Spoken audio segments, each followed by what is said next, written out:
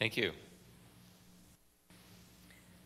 It's good to see you all. Can I just um, get a sense of how many of you are students here? And how many of you are pastors or working in church staff positions or mission organizations in the area too? Okay, so I assume that some of those hands were the same person, so that's good to know too. Um, I'm going to take you on to a little journey over the next hour that um, began in my own life about a decade ago um, in the field of leadership um, when I realized that uh, pastors and Christian leaders of organizations were often finding themselves at a loss to find the Bible all that useful for the pressing needs of management and leadership, and were regularly going to the trough of secular leadership theorists and practitioners to get their best takeaways. And I realized that in some ways we had failed, uh, those of us that were in seminaries generally, but also for me particularly in the field of Bible, to realize that we hadn't really necessarily helped people understand the Bible as a resource for every aspect of ministry. We taught people how to exegete, we taught people how to make sermons out of their good exegetical work, but I could see very clearly that when it came to conflict management, strategic planning, to having any positive view of administration and the management of ministry, we hadn't made very many contributions. So I wanted to look into uh, the field, uh, quite literally, to get some background on the Bible's uh, persistent and reoccurring usage of shepherd, author by author, period by period, Old and New Testament. Why is it that the shepherd seems to be so commonly used throughout the Bible and the biblical periods, even to the point where, as a metaphor, it's used by people who aren't themselves uh, necessarily uh, in the business of shepherding and even in a world where shepherding is held in high esteem? Why would it be so resilient? So, I want to talk about this uh, not only to make this kind of contribution explicit again, uh, having witnessed it in Scripture and seen its value in the lives of pastors and those that are in Christian ministry in different settings. But um, I also believe that we probably, uh, in pastoral ministry more than any other field, need to be able to hit a reset button uh, regularly uh, on our identity because there are, uh, there are categories into which what we do fits. Um, but the, the mix of things that we do in pastoral ministry is a unique mix. And it's a, a certain kind of vocation which, in the history of the United States, at a, at a point in time, had a great deal of honor attributed to it, prestige, respect, like it is in some cultures today. But we're at a point where not only is it difficult to sustain a coherent view of what it means to be a shepherd, but we're living at a time when a lot of other people have ideas about what you ought to do with your time. And it's, it includes, obviously, people who see themselves as your employers. So, this is an important and I, I assume an undisputed need that we need an enduring kind of uh, pastoral identity, and that the most obvious place to look would be at the shepherd, because in fact, our word pastor is just a translation of the word shepherd, and we probably could have avoided a lot of difficulties in the English speaking world a long time ago if we had stuck with the word shepherd instead of taking a Latin word and making something else out of it, some other title, so that we could almost uh, find ourselves creating a redundant expression like shepherding pastors, at least if you say shepherding leaders, shepherd leadership, it doesn't sound quite so redundant, but it would. It would in the ancient world. Shepherd is another way of saying leader, and it's another way of saying pastor. It's a concrete, metaphorical way. So I want to take you back with me to a sabbatical I did in 2003, 2004, to, to come with me into the world uh, where I could have access to some extent to the life and work of, of shepherds, mostly in Jordan, Egypt, to some extent in uh, southern Israel, but for the most part, that lifestyle has changed so much, there's not much of a vestige left of anything that would have cultural continuity over the centuries. But I want you to come into the tent. I want you to meet some people, some of whom uh, are old enough to be able to tell stories about when they were children and the stories they heard from their grandparents that get you back into the 19th century where you really could have cultural continuity. There really was a great degree of constancy in the world of uh, tribal shepherds, whether they had camels or goats or sheep. Basically, the geography hasn't changed, the lifestyle didn't change that much until the advent of more industrialized uh, elements of society, civilization, and then, of course, in the more recent era, the division of the boundaries of the lands in the Middle East, which are all part of the last 100 years, and then with the advent of technology, water trucks, grain trucks, all available by satellite cell phone, there's hardly anything left. So there's, there's a, a curtain dropping on a lifestyle that has just a little bit left of a lifestyle to show you what took place for millennia. This woman, by the way, was 100 years old, and she could tell me what it was like when she was eight or nine and, and sort of tug me back underneath that curtain into that world. Now, of course, interviewing shepherds is not like having class, this, this is the world that you sort of enter to say, well, so tell me what it's like to be a shepherd. So it took a year and it took uh, a while to figure out the best way to do the interviewing. I just want to introduce you to uh, one, one Bedouin, Abu Jamal, I'll call him, uh, who invited me back more than once. He took a lot of pride in his, his shepherding practice, you might say. He didn't grow up with it. And that's typically the case in Bedouin, which are uh, the native tribal groups in the Middle East. Didn't grow up with it. He had actually gone to the military, and when he came out, he wanted to become a shepherd. And he took on the lifestyle quite deliberately, and he was very proud of the fact that he had grown his congregation to 2,000. Okay, talk just like a pastor. I started in 1986, and now I have 2,000 head. okay? And he said, You know what? My sons aren't going to inherit this flock because they don't have the heart for it. He understood my questions. We're trying to get at his world, his work, the mentality that goes with it. And, and, and I wasn't trying to just say, here's John 10, what do you think it means? Here's the parable of the lost sheep, what do you think it means? I was trying to figure out that world in a way that would make it possible for me to hear afresh what the Bible says. And in his own words, he was saying to me, You don't belong out here with these sheep unless you have the heart for it. He said, I've got 2,000 head of sheep and goats. He said, I've got two wives. They each have their own homes. And he said, I don't need to be out here with my flock.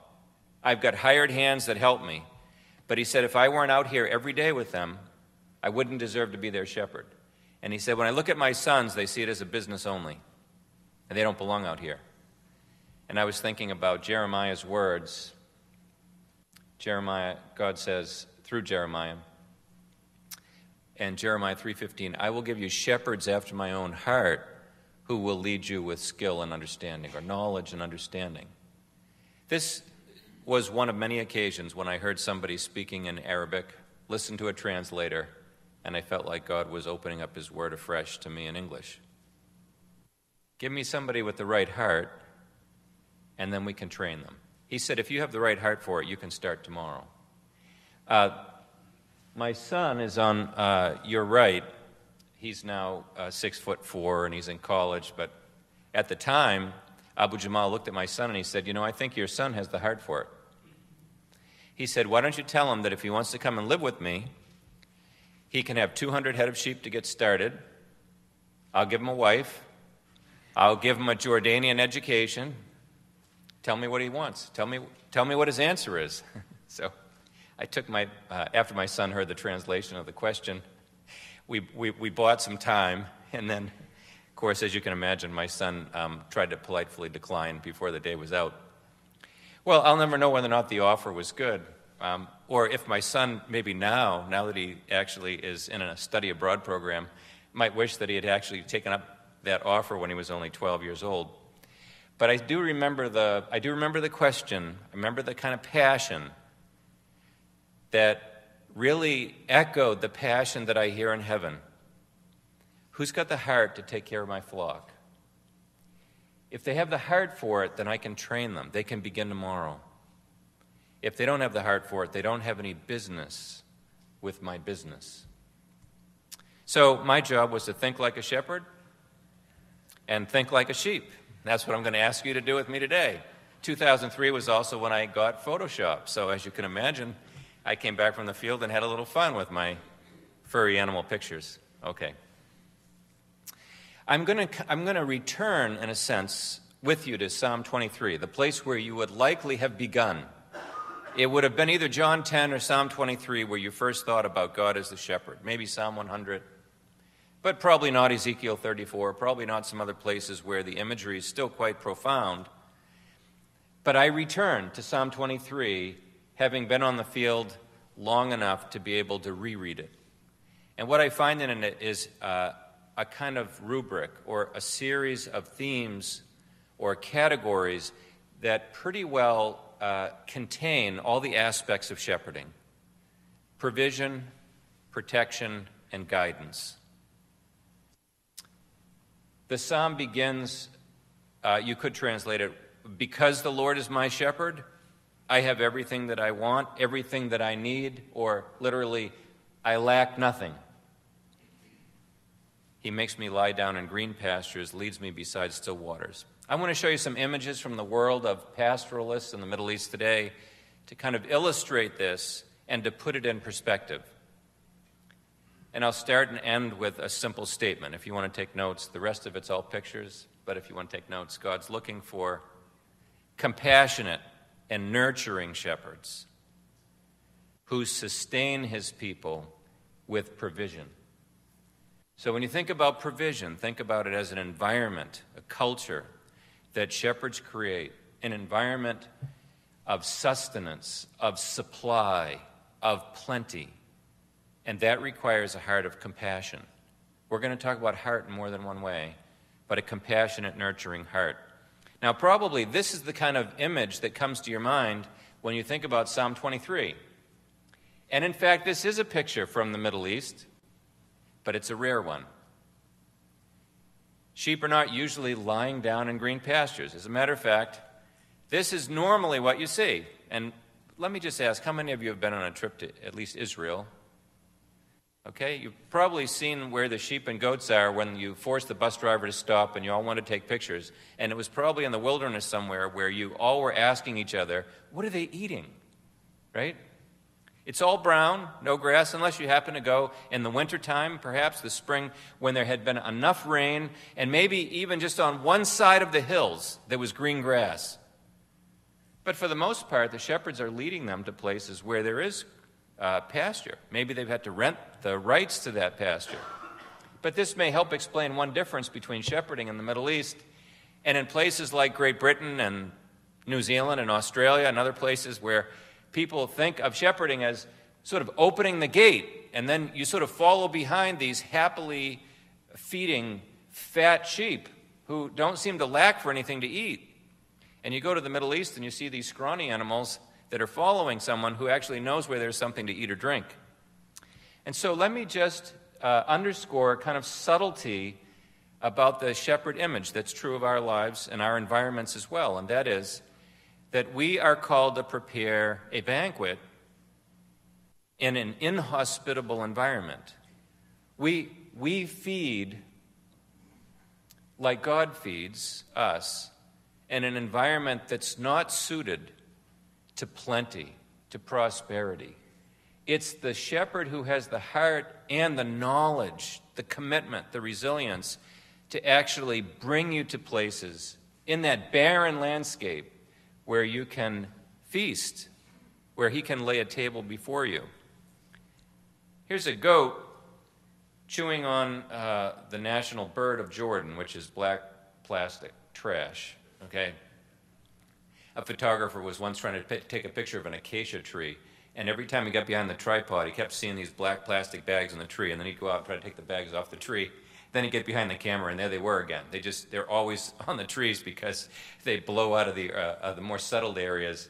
Um, but I talked to a veterinarian, and she said the most common operation we do on goats is to, is to take black plastic bags out of the guts of uh, goats. Well, just think about this environment. It's an environment that's not only inhospitable, in other words, the natural resources aren't just waiting for you, oh, fling open the gates and let them graze, but it also has poisonous or at least uh, some things that are bad to eat, or some things that you shouldn't eat at a given time. For example, if it's an annual crop, you want to wait till it's ready before you take it. Uh, you, if it's perennial, you want to make sure the goats don't pull up the roots and you never have it again. There's some things that are medicinal, but they may not be good for some animals at a certain time. But think about the image of browsing. Browsing. Animals are out there and they're in this environment that's mostly rock, dirt, and occasional greenery, and of that greenery, not all of it's good for you. This starts to give you an idea of why the image of sheep and shepherd is so useful to describe humans. And I'll just say right at the front end of this presentation the Bible never says people are like sheep because they're stupid. That's the most common thing people say about shepherd imagery when they hear it. The Bible never says that. But we are like sheep in that we need to be fed.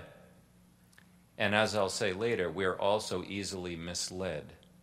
Those are characteristics that the Bible does sort of hold on to, author by author, period by period. But we do, whether it's through a remote or through our mouse or our, you know, our keyboards, we browse. We're feeding ourselves all the time. And we get in trouble by what we ingest. Well, I'll just say briefly the same thing's true about water. This is probably the kind of image that would make a nice illustration for uh, a uh, Bible story book. My wife reminded me the other day of the book we read to our kids when they were little, the Bible um, through children's eyes, I think it's called, kind of a little oblong book, and it had all these pictures uh, that don't represent Middle Eastern realities at all, but that's what sort of fed our imaginations when we were kids. But this is the kind of picture that you'd think of, right? I've only seen one picture like this. it's, it's a fabulous picture of what hardly ever happens. It's, it's the still waters after a storm. And you've got this huge, wide open valley where the water has just come like torrents through the hills out into this open space, and then the sky goes calm, the waters are still. Nobody else has access to the water, no one's fighting for it and you just let the animals drink until they're sated. One of the words that's often used in shepherding passages is satisfaction. In Psalm it says, I, I lack nothing. But that but lack nothing is sort of a, a neutral. But the idea of plenty, the idea of satisfaction, it gets picked up later with the idea of he restores my soul. This is what's more commonly the case. If you want water, you got to dig for it this, this guy was telling me how they dug 30 feet with hand tools because they understood the terrain enough to understand that there was certain vegetation that had to have moisture, must be there. They dug 30 feet. Now, ironically, the desert is a place where the Arabs say of the three things that they fear most, one is drought and another is flood. You pray most that you would get rain, and then you pray next, make sure when it rains, it's during the day, because when it's at night, we have no idea where it is, where it's coming from, and where it's going to hit. And we also want to make sure that we are ready. There's, there's a terror in the desert when it rains. So just let this highlight the fact that the environment in which sheep and goats are raised is an environment that is not uh, it's not inviting these flock animals to meet their needs. It's the shepherd who has the commitment and the knowledge to go into that environment and to find it to make sure they're protected in case it doesn't rain, he knows where there's cisterns hidden, where there's wells. He's negotiated for rights. When it does rain, he makes sure they're not in the, in the open valley where they can get swept away. And this will take us to the most obvious application that runs throughout the Bible, and that is that food in the Bible is constantly a metaphor for God's Word. That feeding is a metaphor for teaching. Jesus saw a large crowd and had compassion on them because they were like sheep without a shepherd. And this is in Mark's version where he says, So he began teaching them many things. Jesus appeared in places that Mark calls desert. And if you went there today, you'd never say they're desert. All around the Galilee, these are places that are wide open fields.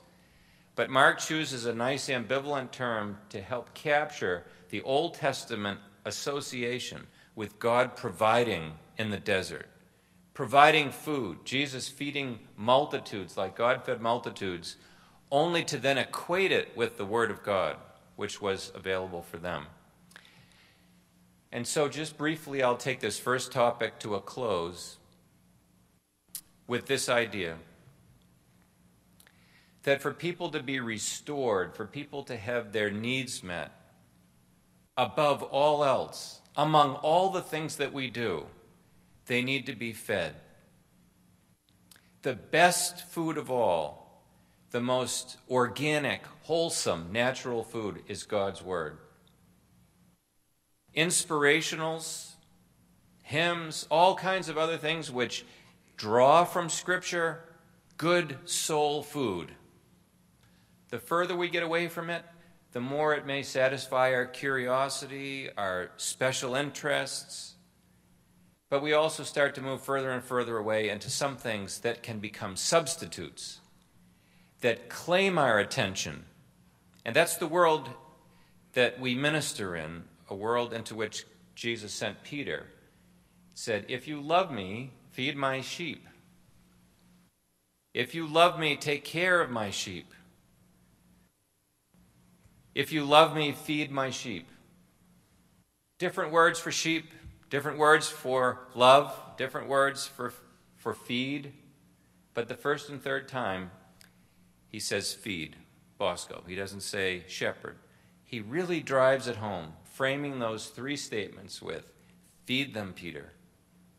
Almost, and of course, there's a, there's a kind of echo here of Peter's three denials. But there does seem to be a way in which Jesus is deferring on Peter's sentiment and channeling it to what matters most to Jesus. After all, Jesus was saying, I'm leaving and I'm leaving you in charge. If you really love me, take care of my sheep. My wife and I are uh, away from home this week, and my youngest is a 17 year old at home. And if she stood at the door and said, You know, Dad, I know you're going away. I just want you to know I love you, you know, I, I'd, lo- I'd like to hear that. It warms my heart. But if I say to her, Adrian, you realize that while I'm gone, the best way to show that you love me is to make sure that at the end of the day, the house is clean, that you don't let other people come in here and trash the place, and that you don't abuse some of the rules that we have in place when we are here. If you love me, you'll hear some other things beside wish me well, send me a text. I love all those things, of course. It's not as though Jesus was saying, don't talk about love, but he was saying, Peter, We've got to translate your affection for me, even your remorse, if this is what's going on, even your remorse, we've got to translate it back down into what captivated me. Jesus saw people like sheep without a shepherd, and he's saying, Peter, you've got to take over for me. And that means feeding them. Now, there's lots of other topics, and maybe I'll just take a commercial break here to explain a couple of things. When I did my research, I did it. Uh, with a contract in mind with the New Studies in Biblical Theology series that Don Carson edits. And out of it came an exegetical journey through the Bible called Shepherds After My Own Heart. So there's a lot in here that's background for sermons, for Bible study, and for giving you the, probably the deepest level of grounding for pastoral identity. The subtitle is Pastoral Traditions and Leadership in the Bible. When I came back, in the ensuing years, I found myself doing seminars like this showing pictures like these. And I found that people were interested in something uh, more mobile than a seminar that they could take and walk more slowly through. So I have another book called While Shepherds Watch Their Flocks, which is a 40 day uh, incremental journey into the life and work of shepherds that follows the pattern of this presentation provision, protection, and guidance. So I'm just saying that now because feeding is only one of the ways that we express our compassionate provision. We look for the lost. We name. We have intimate knowledge. Let me just read to you from one chapter that I won't, so one topic that I won't go into under provision has to do with being named and known. The mothers, this is a quote from a, a, a shepherding family. The mothers, referring to the animals now, which number 51, 42 sheep and nine goats, were kept back from the lambs by Falah and Salim, where, while Nasir began to call them by name. And as each was allowed to come up, Nasir slipped the noose off the young one's neck and gave it to the mother. He knew every mother and every lamb. The astounding thing was that he called up each ewe and picked out her lamb in complete darkness. All through the process of loosing the lambs, calling up the mothers, and handing the baby to its mother to suckle, he was calling out name after name amidst the din of mothers, crying, crying lambs, baaing mothers. To me, it was pandemonium. To Nasir and Falah, it was everyday procedure. He could recognize each mother and each baby by the feel with his eyes shut. All were black, but by feeling heads and backs, he knew by touch which was which. So there's lots more uh, about provision than feeding. But if there's one direct connection the Bible makes between the providing shepherd and spiritual leadership, it is that we feed people God's word. I don't know if you're familiar with the statistics on biblical illiteracy in this country, but Protestants aren't doing any better than Catholics. In fact, people that are agnostic and atheist are sometimes, in some studies, ranking higher than people in Christian faith traditions. Their curiosity about what they're fairly sure they don't believe has brought them further along in terms of their Bible awareness than people that populate churches, even those that consider themselves evangelical. There is a lot of work to do. I saw on your website the kind of free theological education you make available. A lot of seminaries are doing that. We have a Bible journey program, part of a biblical literacy project. We need all hands on deck. If we think some people don't have a tolerance for God's word, we're going to have to build a taste for it. And that takes time because people have to be detoxified from the addicted uh, kind of tastes that they have. Just like all natural food doesn't taste good to somebody that's addicted to stuff that's high in sugar, high in fat, high processed stuff, you're not going to get somebody to give up an energy drink for a glass of grape juice right away. But if you purge your body physically and go through that period of cold turkey, you can get to the point where, like a Bedouin, there's nothing sweeter than a fig, nothing sweeter than a date, nothing sweeter than grape syrup or juice. Our bodies naturally crave those things that are good but they've been corrupted, they've been co opted, and we have learned as a society to find other things that satisfy the soul. So you add that to kind of an ADHD kind of a um, culture that we continually keep reinforcing by shorter commercials, shorter messages, shorter packaging, and by multiple forms of Im- input. We have our work cut out for us, but I certainly hope that we keep in mind that it's feeding people God's word that has the best long term benefits. And one of the great ironies to me when I look at pastoral ministry is how many people have been sustained spiritually by sermons that may not be any longer than a half an hour once a week. I can't believe how many people in hospitals find encouragement from messages they've heard, from portions of scripture they've read, even if it was only our daily bread for two or three minutes in the morning. That just shows you how much power it has when so much else in our world is calling for our attention and absorbing our energies. God's Word, even in little bits, has had a huge impact on us.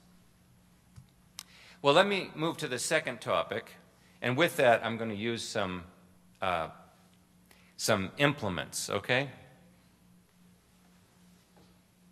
I'd like to suggest that the provision of the shepherd, especially the compassionate presence of the shepherd, who looks for the lost, who heals, who knows how to mend a broken leg, who knows the sheep because from the day uh, before they were born, through labor, into birth, through every sickness was with them. That that's sort of summed up in a way by the staff, which is very often, and of course not so much today, they, they might not have anything that looks like this in many places. But when you see shepherds that are standing like this, it's, it's a kind of a signal to the sheep that the shepherd's present. But not just physically present, he's attentive, he's there for you. This could be used for a newborn, it could be used for a sick one.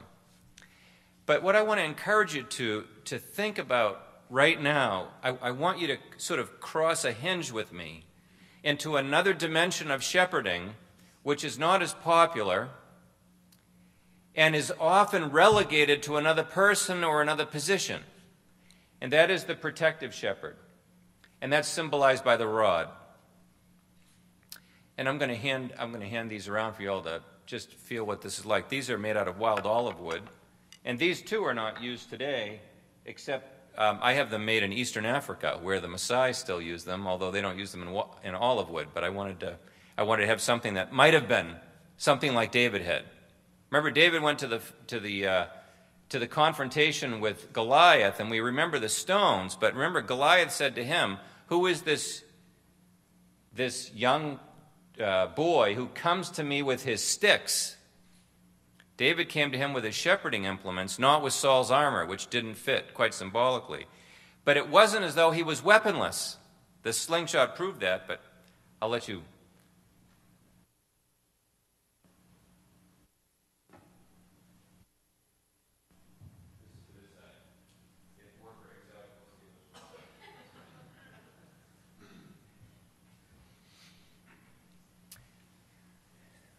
When you feel the rod, I want you to be thinking about this other side of pastoral identity. And I'll just say right up front, I think that uh, there are several misconceptions about shepherding when we associate it with pastoral leadership. Uh, one of them is that it only refers to abusive authority, in which case the rod is sort of the perfect emblem, and people don't want to have any part of it. You know, we live in a democratic and egalitarian kind of milieu where we wouldn't expect that. Some people think sheep are dumb, and that's what we're trying to say when we talk about it. Other people have associated shepherding with high accountability groups or but one of the things that I hear very commonly, and it's actually enshrined institutionally in some denominations and in some parachurch ministries, the word shepherding is equivalent to counseling, personal care, or what you might call sort of the the, uh, the open hearted side, the, the, the nurturing side of leadership only. In fact, I hear pastors come into our Doctor of Ministry program and will often say, My church is trying to turn me into a business leader. They're trying to turn me into a manager. And I just want to be a shepherd. And because of my work, some people feel like I'm going to say, that's great. That's, my, that's what I'm all about. I'm, I'm all about this movement to rescue the shepherd. Well, I am. But that's not to get rid of management. It's not to get you out of, con, uh, out of conflict. It's not to get you out of human resources. Some pastors are saying, I need someone else to do the hiring and firing so I can do the shepherding. So this will probably be good for Q&A. I assume you might disagree with me. But I don't think that the image that's portrayed in the Bible, which resonates with the image in the ancient Near East, was ever one that divided those two. But in fact, the shepherd image itself brought them together. When Hammurabi, a king of a huge empire, called himself shepherd, It was both as someone who fed people, made them lie down in green pastures, and someone whom they could trust to bring justice and order by his might. And he used the word shepherd for both aspects. So at least hang in there a little bit, and then we can have some back and forth on this and see whether or not God might be speaking to you about whether or not you have a built in preference. Some of you, of course, uh, go into ministry because for your whole lives you've been oriented towards human need. And there can be a downside to that, which is people pleasing. Others of you were sort of born policemen, born security guards. You're suspicious and protective and you're, you, you, know, you maybe think that other people are just naive. And the, and the dark side of that can be cynicism and a lack of concern. And, and the biblical shepherd isn't one that just delegates all this other stuff out. It's one that has them together. Because I think part of what's at risk is something theological, and it's whether or not we understand love and justice. So hang with me for a minute. God seeks courageous not just compassionate, but courageous and vigilant shepherds who secure his people with protection. People need sustenance, but they need security. People need provision, they also need protection. People need you to be courageous as well as compassionate. The familiar image in Psalm 23 is walking through the valley of the shadow of death. I will fear no evil, for your rod and your staff, they comfort me. The first part of the psalm pictures the shepherd at the first part of the day. The sun shining, and I'm out eating. I'm out getting water. I'm getting my needs met. When the dusk comes at the end of the afternoon, all of that feeding, all of that watering is a waste if you're still not my shepherd there to protect me. Because at dusk, a whole group of predators in the wilderness emerge on the horizon. They emerge on the cliffs and on the tops of the valley walls. And the only thing on their menu that they want is sheep or goat. That's what they live for. They're predators. They're nocturnal carnivores. Hyenas, wolves, panthers, and David's day lions. Animals that make this environment not only inhospitable, but hostile. And that's the world in which we serve as shepherds. To pastor is to shepherd in an environment that is not waiting to give people what they need, and even worse, it's an environment that's not waiting to find ways to protect people. Rather, it's an environment that has all kinds of substitutes for what people need and it's got predators waiting for them when they're vulnerable. And unfortunately, like sheep, we are prone to wander. That's the hymn I could hear the flocks humming, by the way. Prone to wander, Lord, I feel it. That's what I could hear in the Middle East because that's something the Bible does say. People like sheep tend to wander.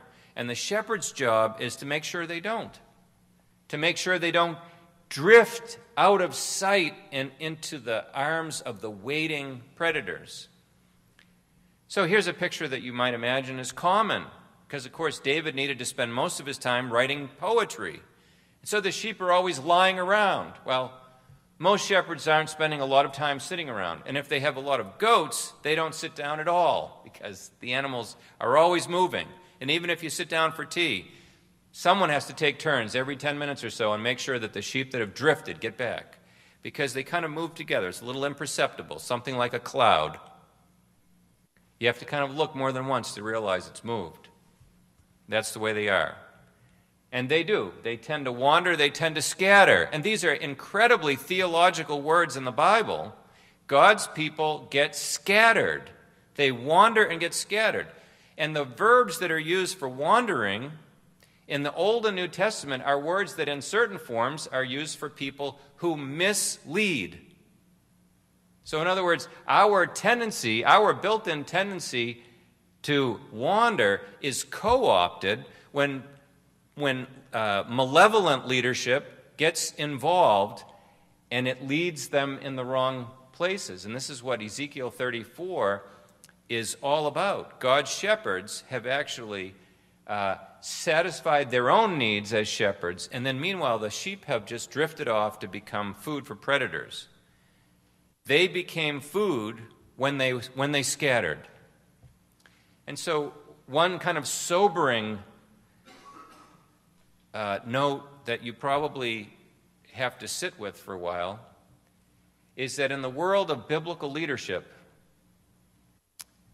understood the way shepherds understand it, neglect is abuse. There are certainly social and domestic situations that we know of where we would say that would be true. Somebody leaves a child in a car, doesn't realize that they can't breathe, that it's hot and all that. Why do we hold them responsible? Because we understand the connection. My ignorant neglect is still not an excuse because I'm responsible. And responsibility is at the heart of shepherding. And if you live in a hostile environment, you can't be asleep at the switch.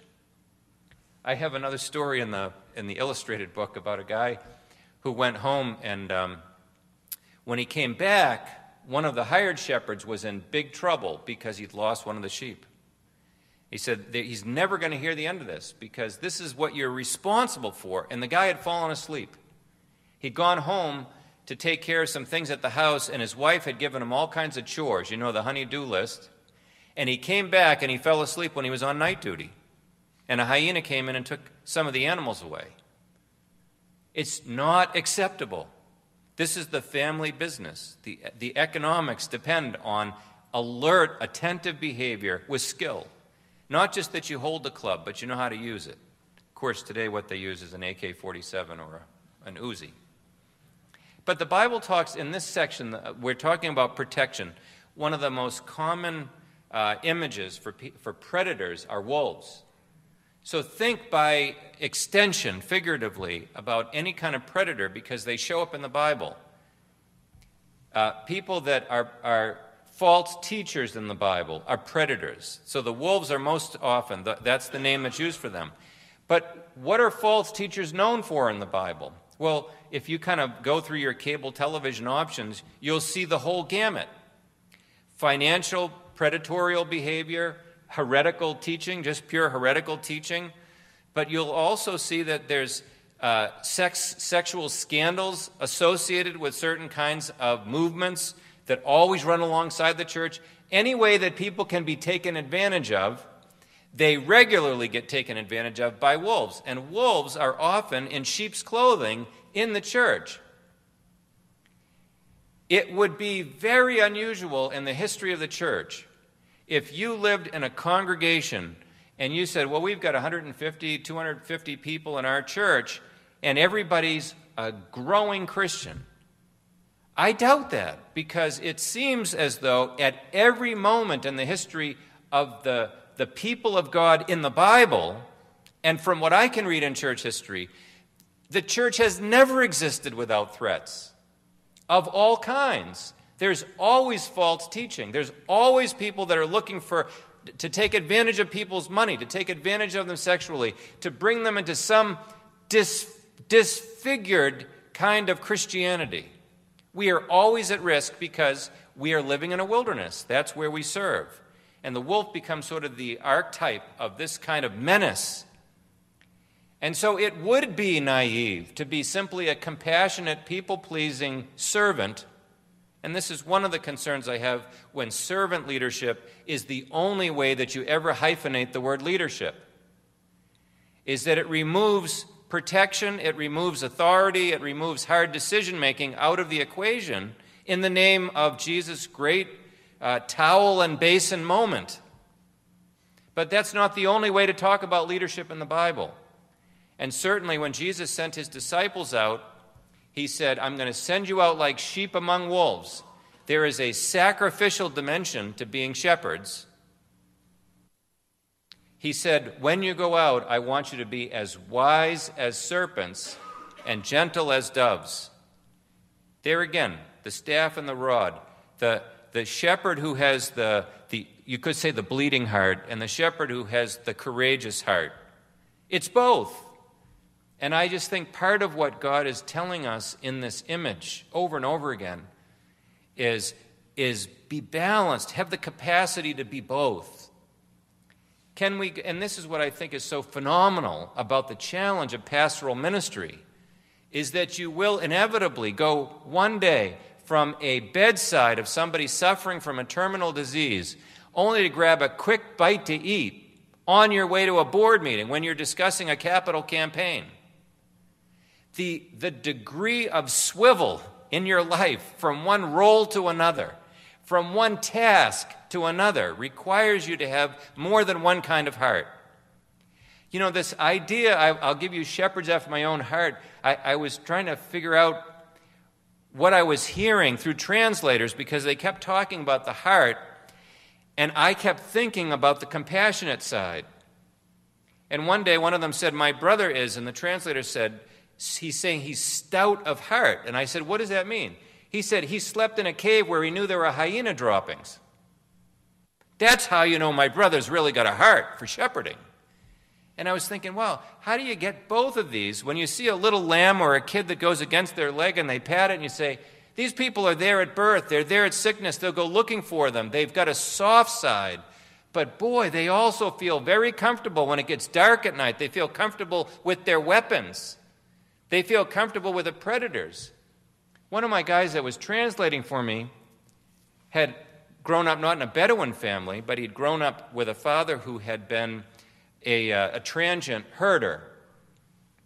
He said, You know, you've been asking all these Bedouin stories about, about you know, wolves and predators and all that. He said, You know, one night my father was out sleeping, and they have these really full length wool coats that they wear. They're, they're sort of like a blanket that you can just wrap yourself in.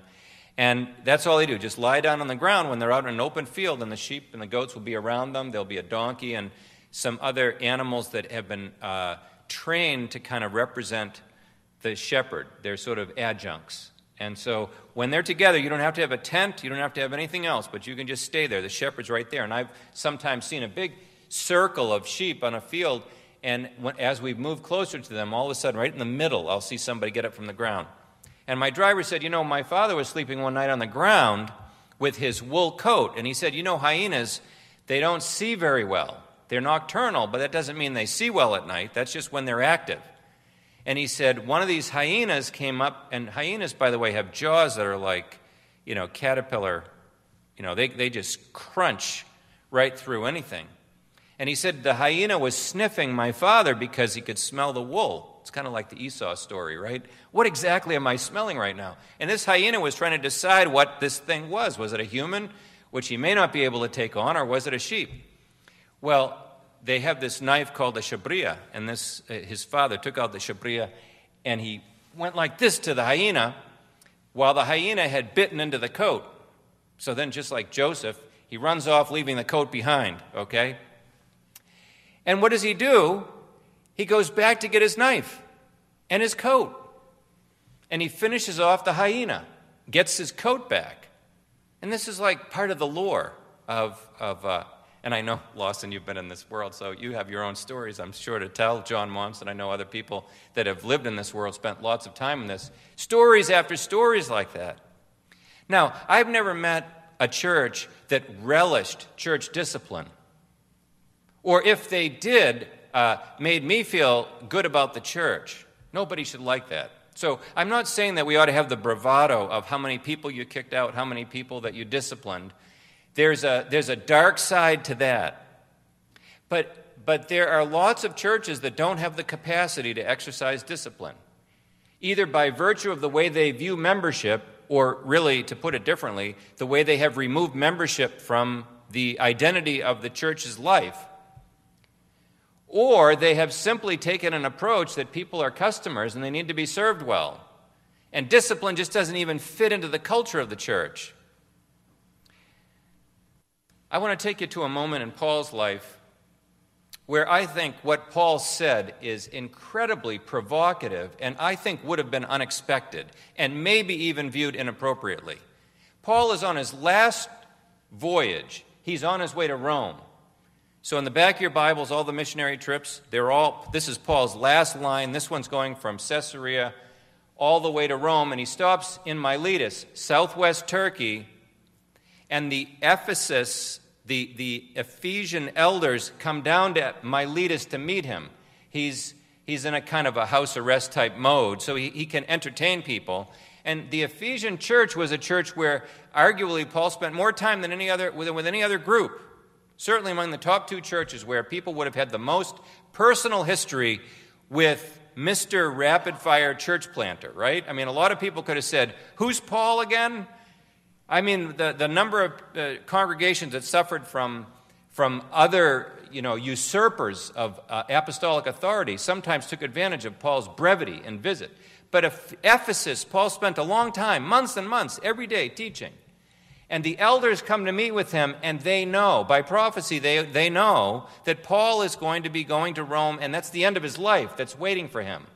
They know, it says, that this will be the last time they'll see him.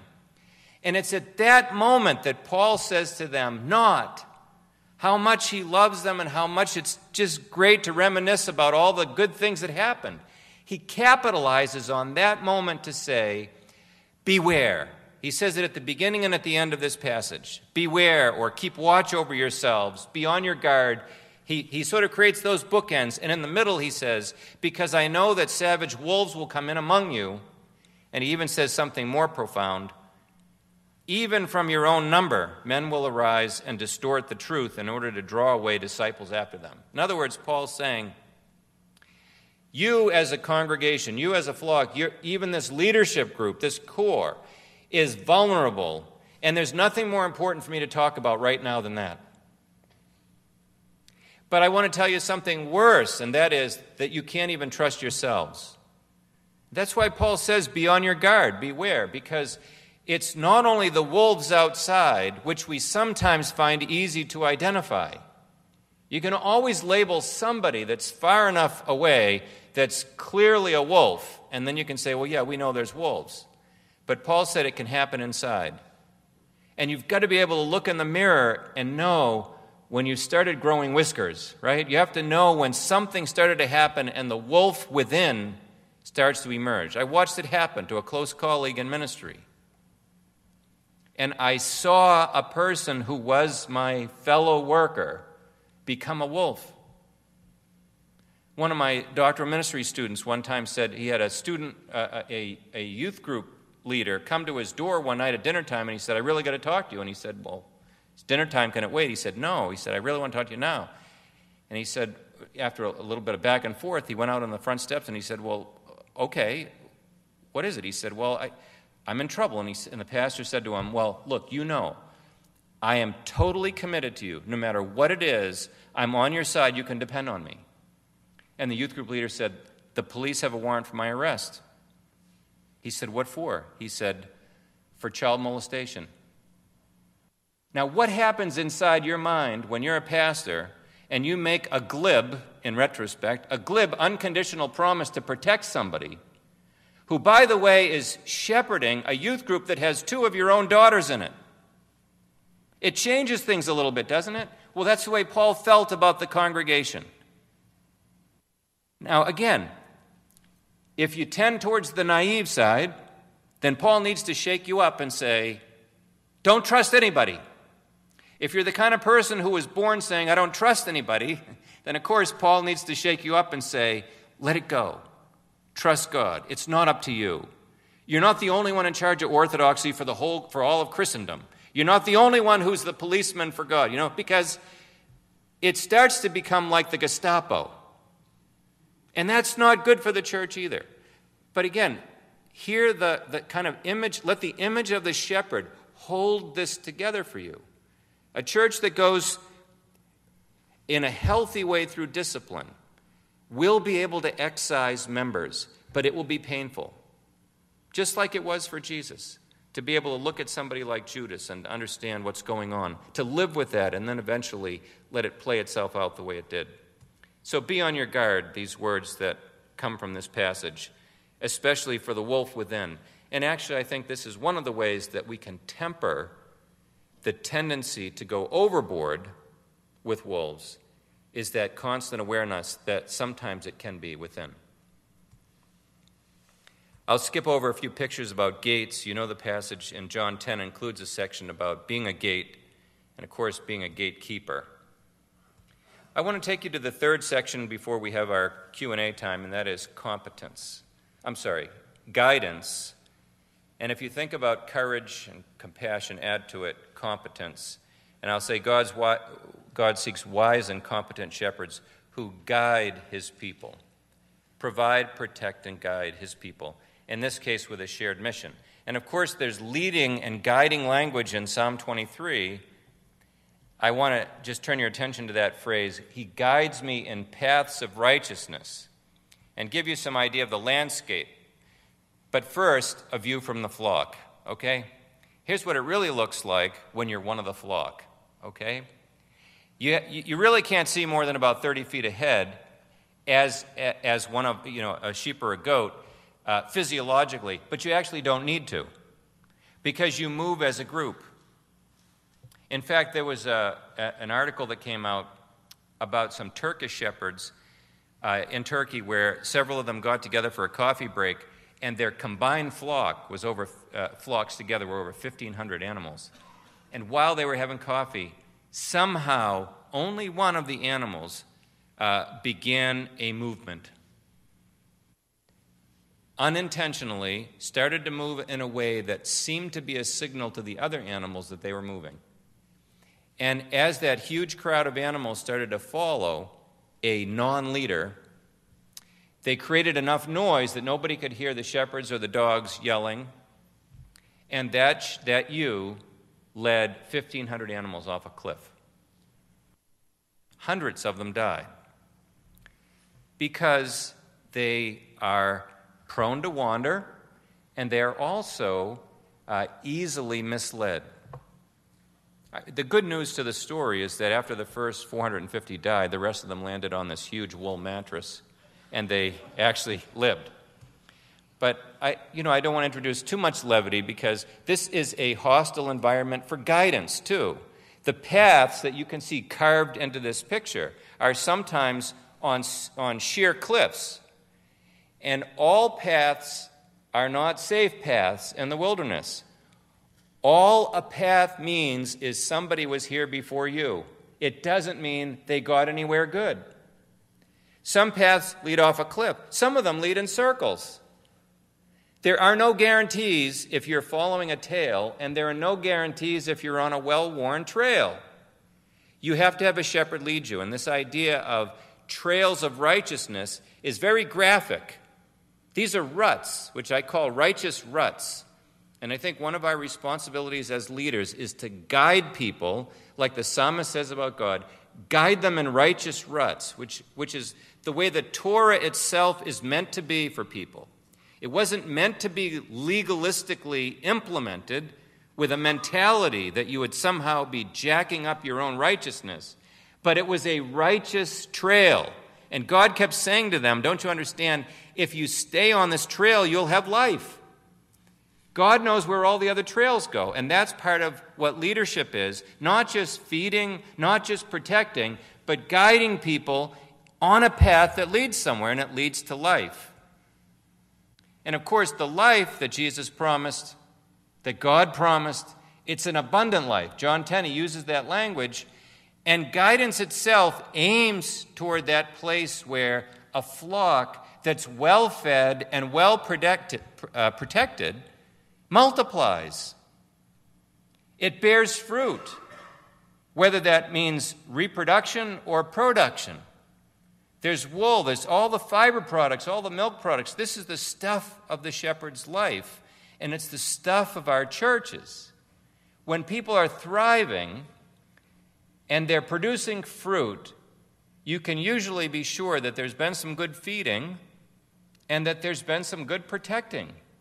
Because sustenance and security are the means to get us into an environment where people can be uh, put on a path that leads to life. Here's a picture of some of the products, including some cheese that lasts for at least 10 years. Just add water, keep it in your camel bag. Wool, People are not only naturally uh, able to be misled, sometimes uh, prone not only to wander, but, but really easy, easily follow someone else. But they're also, it's just natural for them when they're well fed, when they're protected, they are at ease, they produce. They don't try to make wool, they don't try to make babies. When they're well cared for, they just do. Anybody that wants to make them productive will do these other things because it's what's natural. Get them into an environment that's free from anxiety, that's free from threats, that is full of nutrition, and this is what will happen. I want to just give you one last footnote on guidance. If guidance is answering the question, uh, to what end? God calls shepherds. To what end? Where, where are we leading people? Is it to the next five year strategic plan? Is it to the next building expansion? What is it? One of the pieces of biblical leadership tied to the shepherd image that doesn't show up in any secular book, and it wouldn't, and you'll understand why, is that shepherding language is linked to a bigger uh, kind of theological trend in the Bible that we sometimes call the Exodus and the second Exodus. God is Himself leading His people through the journey of life in this world where his people are on the perimeter. They're on the margins of this settled world where people mistakenly believe there's permanence in their big concrete buildings and in their portfolios and everything else that screams, this is here to stay. God's people are on the fringes of that civilization. The best list of them is in Hebrews 11. People who literally sometimes live with animal skins in caves because those are the people of whom the world isn't worthy because it's by their very lifestyle on the margins of this society, not ignoring this society, but their perception of themselves is that this world is not my home, as the song goes. I'm just a passing through. There's something nomadic about God's people. And when we get to heaven, we're going to find ourselves in the ultimate desert, the Garden of Eden. Paradise sits in the desert. It's the table God puts before his people, and he serves us as the shepherd, as the lamb, as the shade. He does it all in Revelation 7. So, whether or not your tent has some modern accoutrements in it, whether or not your church facility maybe looks as good as the next building that's, you know, that has people in it who believe it'll last forever, mistakenly, this is who we are, and it was built into Israel's own ritual. Every year at first fruits, when once nomads who had become farmers would be bringing their farm crops in for the, the, to the temple for the first fruits, they would say, My father was a wandering Aramean who went down to Egypt and sojourned there a while. Fabulous. Doesn't sound like the Nicene Creed, the Apostles' Creed, or any other creed that we know. But it was a fabulous creedal statement that centered every uh, settled Israelite in, in their identity as a child of the, of the shepherd Abraham and his son Jacob, renamed Israel. These are the ones that are the patriarchs of those who only for a time live on this earth, and like Abraham, know that there's a city whose foundations are permanent and they're not in this world. And that's how Psalm 23 ends, and this is, these are the words that I'll end with. Uh, Surely goodness and love will follow me all the days of my life, and I will dwell in the house of the Lord forever. That's the paradise to which we all go. My, my life is an experience of God's provision for me on the margins of settled society where people mistakenly believe that this is all there is. And when I serve as God's under shepherd, I communicate that vision to them and I lead them home. That's the ultimate goal.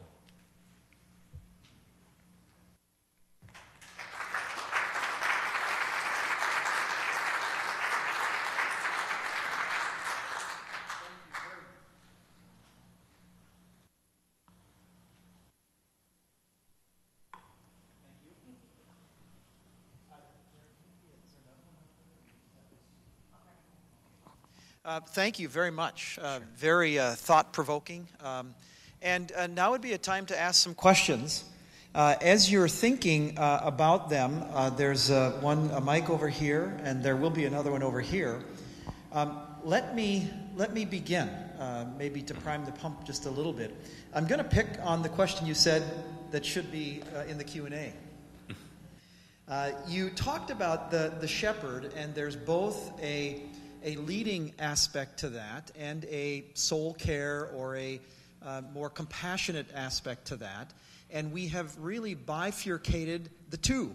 And so there's the shepherding notion that is more the compassionate side, and then there's the executive or the management or the leadership side. Now, in light of that, uh, I'm agreeing with you, but, but I'm, I'm wrestling with okay, so what does that have to do with gifting? Mm-hmm. And what does that have to do with size of, of uh, flock that we have? Yeah. Um, and, and, and, and how does that uh, affect, uh, or how is it affected by our own sin? Yeah. And uh, other yeah. things, limitations with which we live. Mm-hmm. So if you would be yeah. kind enough to address that, that would be so helpful. Did you all hear that in the back? Okay, hearing that? Um, With all of these topics, it, I mean, it's really helpful to have some, some, some feedback so that we kind of reshape together before we go where things might get overstated. The church is meant to be built around our gifts, and there's nothing necessarily wrong or unbiblical about somebody saying, I want to stay close to my gift set. So when, for example, a pastor says, I, you know, I'm called to be a teacher and I'm not called to be an administrator and the church has gotten too big for that, not, nothing inherently wrong with that. And it may be the, the, the very best biblical and spiritual response to an awareness of gifting. What I'm trying to get at is when we're sometimes running away from some aspect of the role set that is pastor. So uh, you know, I've heard different responses sometimes. I, have heard people say, uh, well, look, I, I'm not a shepherd anymore, I'm a rancher. So that's one way to deal with the size thing, is to say, well, I'm, I'm sort of remote shepherd. And I've dealt with mission groups where people are regional directors and they say, this, this is remote shepherding. So there's certainly a kind of stratification that necessarily takes place uh, should you choose to have a large flock.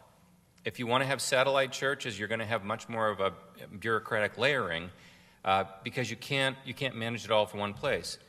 Um, that, that is an if, though. Uh, that's a choice to go to that layer. And there's nothing unbiblical about having a large church. And in fact, herds in the ancient world were often in tens of thousands. So they had names for different kinds of shepherds who had management responsibilities for them. So nothing inherently wrong. Um, but when I think, when I personally sense that somebody doesn't want to do the hard things uh, because it doesn't feel loving, then I think there's something going on theologically about their notion of love. When I see a church wrestle through discipline when it sort of runs against the grain of their own compassion, that's when I think it's done best. That's when I really feel like this is exhibit A. I was with a church in Singapore. They'd spent night after night dealing with one discipline issue. And they were all haggard just from all of the late night, the discussions, all the concerns, legal, marital, all this. They were caring people, and they didn't give up when the, when the going got tough. And so when I compare that with someone who says, you know what, I just don't have the stomach for letting somebody go, then I don't feel like what I'm hearing is a true awareness of the multiplicity of gifts and this is probably a hot issue for many of you.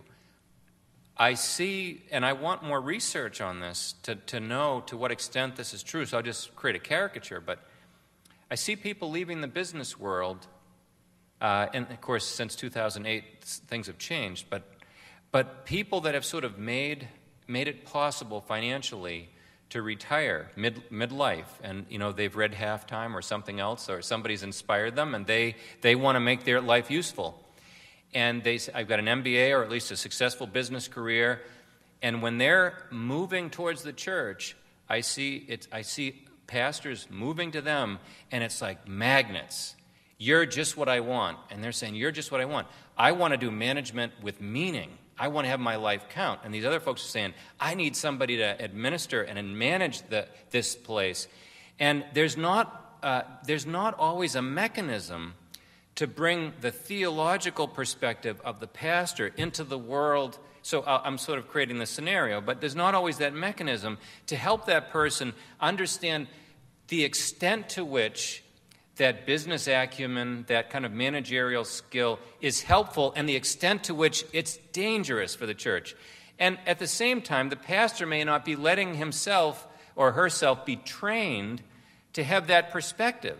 Because after all, if you are responsible for a group of people, and every time the budget comes out, you glaze over, like most of the people on the board, and assume that two or three people that know finance are going to make the decisions, you've abdicated. We think it's okay to be forced to learn Greek and Hebrew and all that, but I, I can't read a budget, I can't read a spreadsheet. We have to get over some of those things and not just relegate them too quickly. So, uh, another question. I appreciated, by the way, the distinction between gifting and role. yeah, right. That was, that was, that was very Because, some, you know, when I asked shepherds, sometimes I'd say, you know, what do you look for most in a shepherd? One of them was the most profound in his simplicity. We, we're looking for people that will do anything we ask them and work hard. And it was, again, I felt like I heard God speaking through the translator. God wants people to know their gifts so they're not mismatched to his plan. But he also needs people that fix the toilet without saying that's not my gift set. And unfortunately, we start to do that with a lot of things and sort of move away. So Thank go you. ahead. Um, significance of call, pastoral call. It's a, it's a big topic. Um, I, I think I'll maybe I'll just say something that might be a little provocative, but I my sense is that there's been a tendency in the church to take the exceptional stories of calling in the Bible and make them paradigmatic. And uh, I, don't know if you've ever heard anyone uh, preach a sermon on calling and talk about Joshua. Moses makes a much better story, right? Everyone would rather hear about a burning bush than about Joshua. How many people have heard a story about Timothy's calling? Haven't you heard more about Paul? Because the Damascus Road carries a lot more freight. But it's actually nurturing Timothy in the home and having the awareness of his gifts in that familial context that may very well have been the, the dominant, uh, normal way of being called. And I want, so I don't know where you were headed with your question, and maybe I went in a different direction, but it's one of the concerns I have. Sometimes I think uh, calling is is when the people in the church, uh, the, when the elders, for example, say, We really believe that God has his hand on your life, and you might resist and have to pray about it, but it's that tap on the shoulder. When Mordecai said to Esther, For such a time as this, look at your circumstances. You're the one. And when people point that out to you, it may be coming from the outside, it might be coming from a series of circumstances, but I just, even in a seminary, I, I feel hesitant to exalt a notion, which I'll even be heretical enough to say is not technically biblical. That the way we use the word calling, we have brought it up to a level where we have crystallized and fossilized the notion of calling. And we've set people up, I think, sometimes to get to a point where they felt called and they went to seminary. And then, and then they're kind of wondering, what does the call mean when they go to the first church? And then if things sort of fizzle, they don't know what the rest of their life means. So maybe I'll just keep getting myself in trouble and then walk out the back. But I, I do think it would be helpful to rescue, right, okay, but to rescue the word calling and pull it back into the, into the language of obedience. Because obedience is a lifetime of following. And when God calls us dramatically or undramatically into forms of service, whether they be full time or not, I don't think that should overwhelm us uh, to the point where we forget that we have a lifetime of obedience that will include other things. Everyone that teaches on the Charlotte campus is doing something different than what they thought they were called to. And we decided to be honest with our students. that what you think you're called to may not be what you'll end up doing 20 or 30 years later. Thank you. Does that get to the heart of it, Lee? What prompted it in the first place? Are you, are you concerned about some notion of calling or some mystical sort of calling? Some what? What? Here, hang on. This this Right. This will be taped. Let's let's have you speak. When you talked about your, you know, the son has a heart for it, I tend to think that the calling is when you have the heart for it, and not everybody who loves the church or likes to care for people.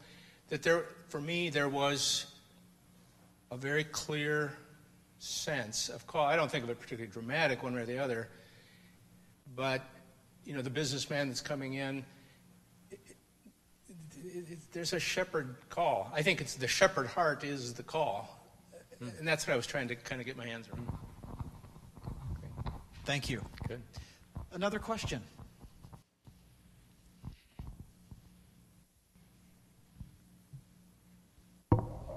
I'll ask one while people are thinking about questions. Uh, I'm not sure this has to do with the shepherd metaphor per se, but you made a pretty helpful, pointed comment about church discipline in the middle of your talk that made me think, I wonder if he's got some more biblical wisdom for us on the topic of church discipline. It's such a difficult thing to manage well. Probably most of us simply neglect to, to do it well. We all know examples of people who are overly controlling and maybe spiritually mature who, who do it, but maybe not so well. Is there anything from your study of Scripture or from your reflection on the, the, the shepherding metaphor that you could provide for us by way of wisdom in this really difficult, particularly Yeah. North American, but all over the place? Yeah. You know, we're in such a difficult context now to do church discipline well. Yeah. Do you have some advice? Yeah. Well, I, I think um, what I've said, I'll just maybe highlight a couple things um, to amplify them. And that is one is if our leadership is defined too much by who we think we are, uh, how we think we're gifted, you know, how, what we think we're called to, we may sometimes set ourselves up with limits on how God may want to use us in situations, especially if there's some things that are hard and discipline is hard. So I'd say one issue is let God speak to you. I, I don't know. Some of you may have sort of an inner Nazi, and some of you may have an inner nursery school teacher, you know? And so I, that's the nature of this metaphor is that it has to kind of go to both sides with you and say, can you be a little more this way to kind of get a sense of, of the both and? Um, on a very practical level that's biblical, I've worked closely with Peacemaker Ministries, and I'll be with their annual conference again next week, and we developed a resource called the Leadership Opportunity that includes some of this in it. They're sort of a group of lawyers that, you know, found themselves with a whole lot of conflict in the church and in marriages, and they've developed very biblical, very practical ways for people to deal with conflict. And the issue about membership that I that I did kind of talk about in passing is something that I have uh, seen through their eyes. And I realize that if we don't construct our communities with certain kinds of bylaws, procedures, uh, et cetera, in place, and some of you have denominations that provide this, but in independent churches, when people believe they're sort of starting from scratch with the New Testament, boy, there's a lot of things that they don't take advantage of in terms of collective wisdom. If you don't get it right to begin with, then you don't create the opportunity to discipline later. I'll, I'll confess something, even though this is being taped, but my wife and I were short term missionaries in Greece um, in a culture where boys could sort of get away with murder growing up. And we were living with a family that was hosting us, we were working with them, and uh, they had a boy that was a terror. And um, he just got away with anything. And one night we were sitting at the dinner table, and he just wa- punched my wife right in the kidneys. And she's an elementary ed teacher. She could see spoiled brat written all over this kid from the day we came there. And she just sort of turned around, took his hand, and went like this. And his parents, the family who's hosting us in their country and their home, just about, you know, stop breathing. The audacity of it. Well, why? She didn't have the right to be disciplining someone else's child. Well, that's the way people feel in churches when the structure isn't in place. Nobody signs anything. in some settings, if, if you're not asked to sign something, if you don't post something, Peacemaker Ministries actually recommends that you not only have very clear membership guidelines that include uh, if a, that you cannot revoke, you, you cannot yourself initiate your own dismembering, or what, I don't know a better way to say that, right? Not, you, you, you can always dismember yourself if you just have a kitchen, kitchen accident, but you can't take yourself off the membership rolls if a disciplinary process has begun. So that's already written there when you sign up. But they also have another statement that's public in the church that says anybody who is a regular attender, defined by being here more than three to five times, is subject to the church's general disciplinary procedures found at such and such a site. So I, am really impressed with the commitment to say, let's create a community where you know that people are here to have peace. And the only way to get peace is to have a plan for conflict. And that does involve discipline at times. But of course, if you, if you look at what Peacemaker's doing and if you think biblically about it, the goal is always restoration. Yes. The goal isn't just to excommunicate as many people as cause trouble as possible. Thank you. Uh, here, question, please. Hi. Uh, earlier, you mentioned about the problem of biblical illiteracy, mm-hmm. um, and also that those people need to be eased in while they detox into literacy. Mm-hmm. What are some ways that you would suggest that would be a good way to do that? Well, a couple come to mind because it's what we're trying to do programmatically, or at least I am. One of them is to, is to sort of uh, put into bite size what, is, uh, what has historically been available to people in larger doses. So, for example, an Old Testament survey at Trinity, probably a, a three semester hour course, if somebody uh, out in the community uh, were to sit in on that class, they might say, Whoa, this is way over my head, I can't do it. We're trying to take that and spread it out into bits so that people have two hours on a weeknight like they would with a Bible study, but they're introduced to the Bible in its literary and historical and theological context, and they have teaching assistants that work with them so that they can start to manage understanding the Bible with sort of um, shorter time frames for being able to experience the meaning and the connectedness. People can hold their breath longer in a graduate program, right? That they'll, they'll wait it out. They understood that coming in. Another one is that I just, I personally challenge pastors to find every possible way to sneak uh, the big picture of the Bible into comments that you make about anything in the Bible. It, I, I, I, sense that so many times when, when, uh, when and, and I preach a lot too, so I'll just say we, but I sense a lot of times when we preach, we feel like if we're going to start talking about something that's unfamiliar in the Bible, we've got a fairly short window of time to give people any kind of information that they may not think is relevant. And sometimes what we do is we sort of color it up anachronistically. And it's sort of like you talk about Gideon and you think he's playing in the red he's playing in the you know the World Series or something and it's like we just so I really want to encourage us to do good work with people when sort of expand that attention with really rich pertinent background so they can see the relevance of it, but they start to become curious. We have to, we have to sort of pump uh, kind of their interest into that curiosity. And the second thing is its connectedness to the whole Bible. So if they, if, if you just show PowerPoints of Scripture on the screen, that's the kind of Bible that most people have. Even, I mean, right now, the electronic Bible is it's, it's, it's on its way to become the most used Bible in whatever form. It, it's always contextless. Now, you can argue that's the way scrolls were. I mean, there's lots of different ways to look at it. But what is clear is that people are losing a grip on how the Bible is connected to it. So I think we have to, uh, so this is a kind of sounds like a, a very superficial answer. I think we have to keep tucking in as much as we can so that if I'm going to reference Gideon, I may just simply say, for those of you that are unfamiliar, Gideon's in the book of Judges in the Bible, and the book of Judges is, is it's a collection of stories that follow the same storyline. And what I've done is I've made it possible, once I've talked about Gideon, to say, you can get more of this if you go to this site and click here, so to speak, right? So I, I just think enormous task. The Bible has become bits. Thank you. Uh, one more question, and we will. This will be our final question. Thank you. Yes, my question is uh, turning your subtitle into a question.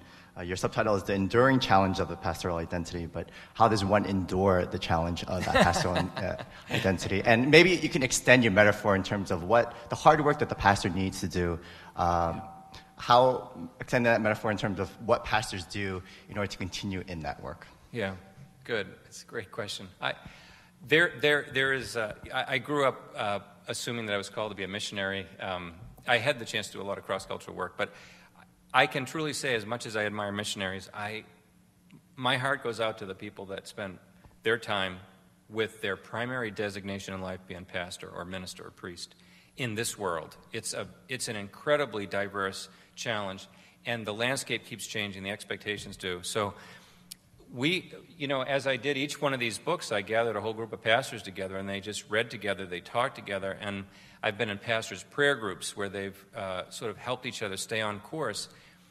The, uh, I think you have to, you have to choose the venues that you think really do hit the reset button on, on what you believe is your pastoral identity. There are conference based ministries out there that may help, and a lot of churches will give their staff the opportunity or volunteers to sort of pick whatever they do. Th- those won't necessarily be opportunities that really drive them back to a biblical understanding of their role. It might be how to better run small groups or how to better manage, you know, certain things that maybe are really pressing. So, what I have really appreciated, and this is sort of at its, at its best at the doctor of ministry level, is when people come together and there's trust and there's confidentiality and there's a base, there's a base level of knowledge and commitment. When people get together like that, they can really come back in touch with who they are. And then after that, they don't need any more degrees. They just they have found the group that for the rest of their lives will always help them remember. And so I, I do have forums where I have people talk about, I mean, every chapter in this illustrated book has forums, and there's just lots of people that want to think out loud together about how to be a shepherd when there's really not much in our world calling us to be a shepherd. It's a kind of a, it's, it's a, it's a metaphor that doesn't work for a lot of people. And so if you say, well, it really means pastor, you know, if you want to work it the other way and say, well, yeah, you know what it means, it means pastor, that doesn't get you very far because what does pastor mean? It means everything that everyone thinks it means. So, but, you know, I mean, there are people to whom you'll look, some of you will resonate with Eugene Peterson. He just wrote his memoirs, The Pastor. If that helps reset it, you know, give out copies to people. The, the attrition rate out of the pastorate is just horrific. I mean, three to five years, people are leaving the field. And so, I, I mean, it's, it's just as bad as people trying to stay in uh, foreign missionary service. So, you've got to cling to whatever is helping you stay connected. And I would say that the, um, that, you know, there's, everyone will have maybe some, something different on their reading list. But we definitely have to be reading uh, the kind of uh, stuff that puts us in touch with who we are as pastors, and not just the kind of stuff that helps us get the job done. Because sometimes that's actually pulling us away from a pastoral identity. And I know that's what Eugene Peterson, uh, in, in, in his own journey, finally realized is that you just simply have to say it. I'm a pastor, and that means that I pray for you and I'm attentive to God's work in your life. If that doesn't work for you, fine, but I know that's what my role is. It doesn't look like a whole job. Looks like I just work two hours a week. I know, right? But I know that's my job. And if you get pulled too far away from being able to do that, of course, this gets back to the first question, you still have to do what needs to be done. But you can also draw the line and say, I've, I've lost, I've lost my, my sense of shepherding. Thank you. Let's uh, thank uh, Dr. Laniak.